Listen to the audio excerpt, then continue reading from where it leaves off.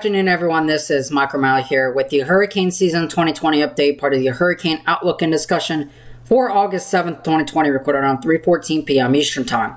Well, taking a look here at the latest upper ocean heat content map, again, you can continue to see this area of persistent warming and very high upper ocean heat content values out here in the Caribbean and the Gulf of Mexico. This is likely going to set up for some very favorable tracks out here into the Caribbean with lower than normal shear. So for you folks down there, of course, anywhere within uh, reach of these tropical cyclones, even far inland, but immediately along the coast, obviously, you know, it is hurricane season. You guys need to be watching what's going on. It kind of goes without saying. Um, you know, I'm not trying to spread any hype or misinformation or whatever, but this has the potential to be a very significant and busy season. And for good meteorological reasons, which we'll get into here in a couple of seconds. But again, you notice this very persistent uh, area of uh, the upper ocean heat content values. Everywhere I'm highlighting basically has a shot of getting a pretty decent tropical cyclone to kind of move through that area all the way up to the coast of the continental United States. So this area is certainly in the favorability window for these tropical cyclones, at least in the water temperature sense. And of course, these water temperatures out here are plenty warm for intense tropical cyclones to form. It's going to be a little bit of a shorter update today. Got a lot of stuff to get done. Uh, but taking a look here at the latest uh, North American multi-model ensemble uh, forecast. This is the precipitation anomaly uh, created by Eric Webb over there on Twitter, Webber Weather. Uh, make sure to go follow him. He does some really good analysis, and he's really he's a really good uh, researcher as well in researching these topics. But again, basically these these August precipitation anomalies from this particular model is very concerning. Um, this is one of the, the better models that has kind of better predicted the Atlantic hurricane season uh, so far up to this point. You notice this area of precipitation anomalies that stretches all the way into the Caribbean and the Gulf of Mexico and the main development region, of course, this area is going to be lit up. Uh, you know, of course, the Caribbean has not seen any significant development since Matthew in 2016. And of course, that was already a tropical disturbance once it was coming in here and tries to really get uh, strengthen and get its organization down here before kind of crossing up something like that and making its way in through there. But one of the main focal points here is the consistency in which these models are kind of uh, progressing. They're hinting at a more westerly track. That's because of a stronger ridge of high pressure out there. And we can kind of see this. This once again is by Erica Webb over there on Twitter. And again, this is right now your uh, ERA 5 recreation data, taking a look at your 200 to uh, your 850 millibar all the way up to 200 millibar um, layers in the atmosphere in your shear percentiles from June to July of 2020. And this is based on, uh, again, a data set. I don't know exactly what the data set uh, is, but it's based on a data set over, I think, uh, like 30 years or so.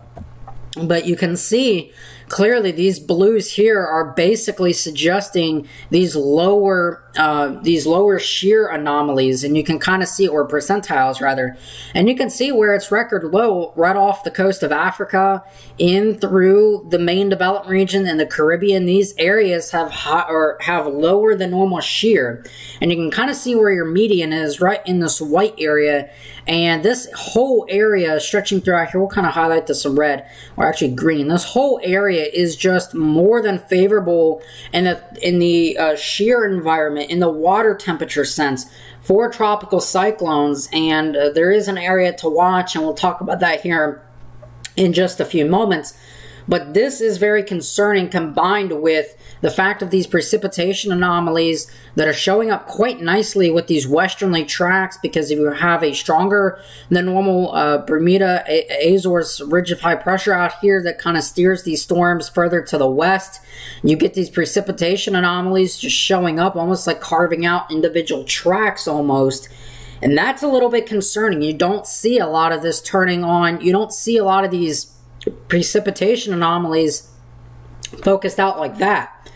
That would be a, recurv- a recurvature signal. You don't see that here, and that's certainly something of concern as we head deeper into the season.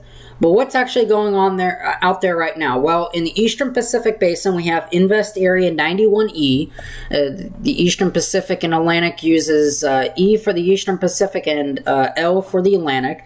Uh, it's actually AL uh, for the Atlantic Basin. But you can really see how we have a this one lone ranger out here. And again, the Eastern Pacific Basin should become more active with time. We'll talk about why that is here in a moment.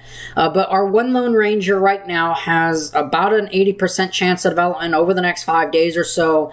This will generally be heading toward the west northwest. And again, this is not going to be a land imminent land concern for the folks here in the Baja of California, uh, obviously the Gulf of uh, California, the Cabo San Lucas resort areas. Mexico and Central America, this isn't necessarily going to be a direct excuse me, a direct concern to that area. Now, there is the potential obviously for some waves and increased uh, you know wave heights in this region uh, certainly some increased surf conditions out there so if you live in those areas you're a surfer obviously that's something you really want to pay attention to obviously an increased risk for rip currents along the coastline here all the way up into the Baja. But as it stands currently, there's no significant threat at this point in time for a landfalling tropical cyclone out here uh, along these areas. So that's going to be something that we're going to keep a, a, an eye on, obviously. Uh, but right now, as it stands, it does not seem to be of any imminent concern uh, for those areas at all. So that will be something that we'll kind of keep a very close eye on uh, as we go throughout time. The other thing we'll be looking for is out here in the Atlantic Basin where we do not have a, a particular invest right now. Uh, but we do have an area of disturbance highlighted by the National Hurricane Center with a 10% chance of development over the next 48 hours and five days. This is a tropical wave coming off of Africa. Kind of these low rider ish systems. I mean, this is running at about uh, 14 to 13 north or so. That's about 10 north right there. Uh, so these tropical cyclone or th this uh, tropical disturbance rather is in a really low latitude situation, a lot of low riders as we've kind of seen this year so far. This really doesn't have much of a shot for development, although you can never really discount systems like uh, Gonzalo that, you know, pretty, you know, got its organization pretty quick, you know, percent chance uh, the day prior and now you're getting you know you know this to kind of come out so as we've seen you know we have to watch these uh, but at the moment, there does not stand a very significant chance for this to become a tropical cyclone. Strong upper level winds are going to be blowing across this region, and that's all thanks in part due to uh, the convectively coupled Kelvin waves and the Madden-Julian oscillation. You're looking at, this is from Michael Ventrice's page, by the way. Uh, he uh, went to uh, Albany, uh, got his PhD degree there, PhD degree there, now works with the IBM Weather Company. Uh, so this is from his page, and if you guys want the links, I can give it to you. Uh, but this is what you're looking at here is the Browns. This is your Madden-Julian oscillation. And then overlaid on top of it is your convectively coupled Kelvin waves. And again, much of the same. These reds and browns are your suppressed phases of the Madden-Julian oscillation and, and, and the Kelvin waves. And your blues are your active phases of the Kelvin wave that typically enhance Atlantic uh, main development region activity and Atlantic uh, tropical cyclone genesis formation in general. So this is today. This is updated as of today. And again, what you're taking a look at here is the, the Atlantic Basin and portions of the Eastern Pacific and Africa. So what you have is a suppressed Madden-Julian oscillation. This typically uh, suppresses Atlantic hurricane season development, um, but it really hasn't hindered much as of late. Now we have also a suppressed convectively coupled Kelvin wave passing over this very same area. And again, this is going to suppress Atlantic tropical cyclone genesis chances at least uh, for the next about five or so days. Now, we do have that one area to watch, and we'll keep watching it.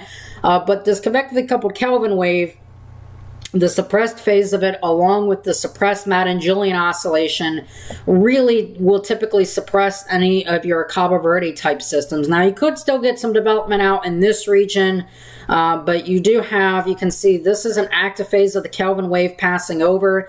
This will um, at least temporarily uh, as it passes over portions of uh, South America and then into uh, Central and South Africa that could enhance some of these tropical waves as they come across here. But again, this Madden-Julian oscillation will really kind of uh, degrade any uh, chances, will really hinder those tropical cyclone genesis chances at least uh, throughout the next uh, couple of days or so. Then you notice we go into week one here, and this is kind of stretching out throughout the, about the next seven days. This Madden-Julian oscillation the suppressed phase is now kind of hanging around, but you notice uh, that instead of having this suppressed phase that's kind of over most of uh, America as well, now this is now starting to kind of retrograde back off to the east. And this is part of the intraseasonal variability that we kind of talked about yesterday where these convectively coupled Kelvin waves will kind of pass over with time. Needless to say, you see another suppressed phase coming in here, but then look out. Once you get to about week two, now you start to see an active phase of the Kelvin wave passing overhead across most of the Atlantic basin with this suppressed Madden-Julian oscillation retrograding back and an active Madden-Julian oscillation, uh, an active pulse of the MJO is expected to cross into the Eastern Pacific and Atlantic Basin. You'll typically see the Eastern Pacific light up first, and then what happens is the Atlantic Basin will really light up, and that's when, really by the August 20th, uh, past that point in time, we will typically and likely see the Atlantic hurricane season really become a formidable uh, thing after that point in time. So what's going on out there right now? Well, this is the GOES 16 uh, satellite viewer, the visible satellite from the College DuPage website, COD Meteorology. Not a lot going on. You have one little tropical wave passing over uh, the Caribbean right now. Not expected to get any tropical cyclone uh, development chances out of that. In the Eastern Pacific Basin, Invest Area 91E will continue monitoring that again. That could bring some rain uh, to portions of the coastlines here, of Central America and Mexico, but not really expecting any significant impacts as of current.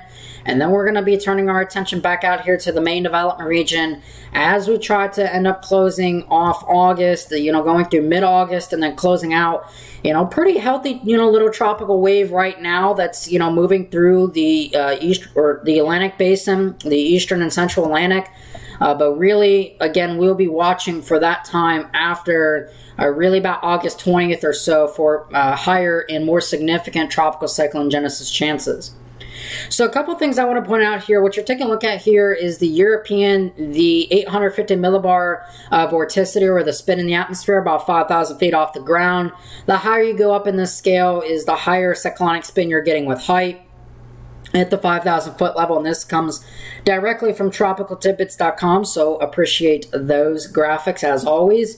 And a couple of things to point out here. First of all, you notice how in the Eastern Pacific, well, first of all, in the Atlantic Basin, you're not really getting much. Now, in the Eastern Pacific Basin, you have the European and the GFS both spitting out tropical cyclones one after another in the Eastern Pacific Basin, and kind of for uh, a, a representation on that, you can kind of see how does this look realistic? And the thing is, is that the over the years, as these models have kind of been upgraded, especially since about 2019 with the European uh, European uh, ECMWF upgrade from the the Met Office over there it has a convective bias. And what I mean by that is it has a Eastern Pacific bias, Central American bias to spit up, and, and so does the GFS, but it tends to spit up and spit off more tropical cyclones than actually occur.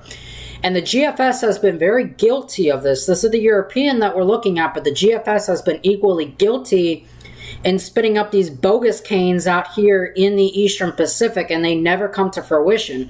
We've had one hurricane in the Eastern Pacific, which was Douglas.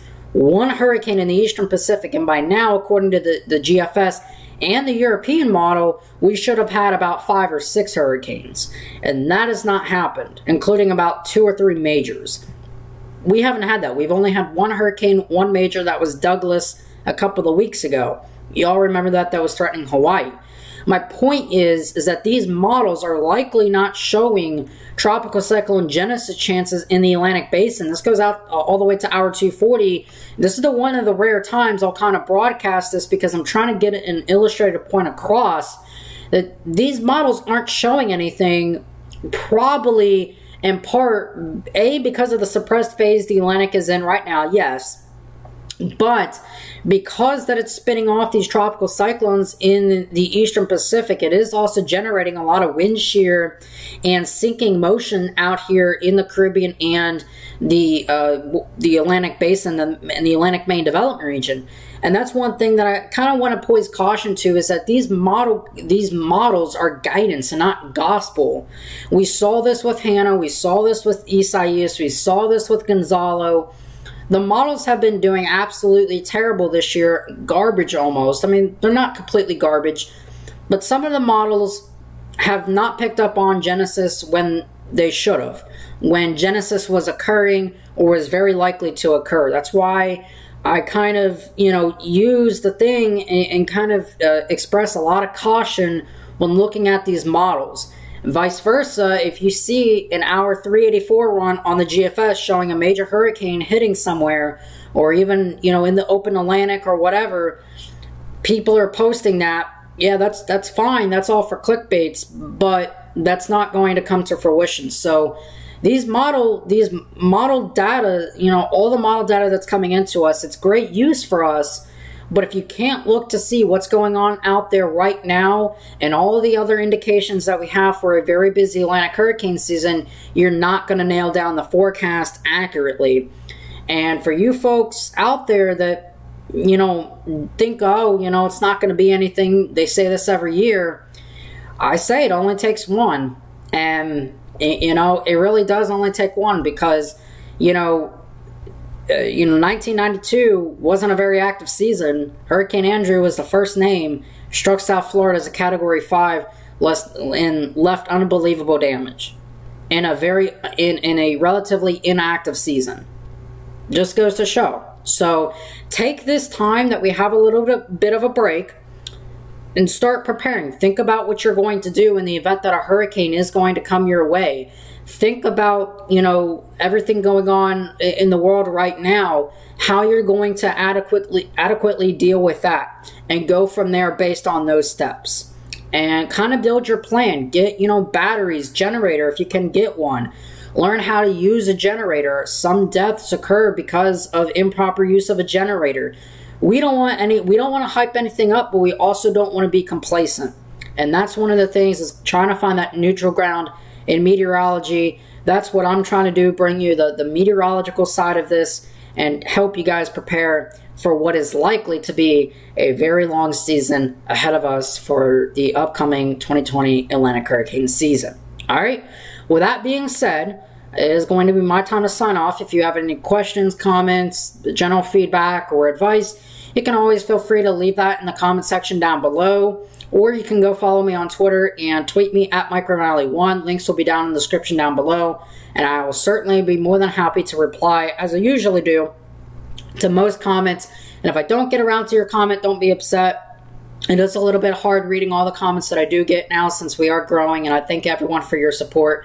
I do look at them and try to re respond to as many as I possibly can, but uh, obviously, you know, I'm working on the hurricane cameras as well, so it is going to be a little bit busier of a time for me, and since that we are heading into a busier period, more than likely it is going to be a little bit challenging. All right? With that being said, hope you all have a great rest of your afternoon and evening here on this Friday afternoon. Stay safe, everyone. I'll talk to you again tomorrow afternoon. See you tomorrow, guys.